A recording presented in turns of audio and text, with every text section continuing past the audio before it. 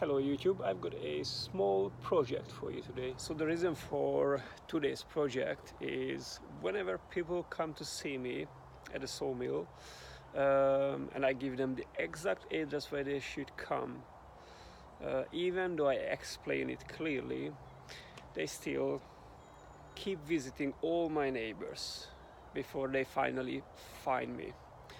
Uh, and the neighbors starting to get fed up already with all the unwanted visitors. So I think it's time to make a sign and place it out there so it's clear for everyone uh, where to come. So I'm just gonna pick one of my live slabs and carve a sign into it. Simple. Let's get started.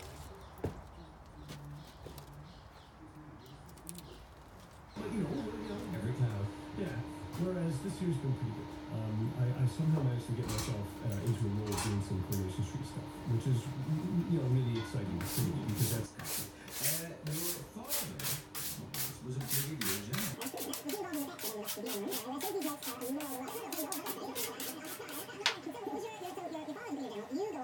I'm going to do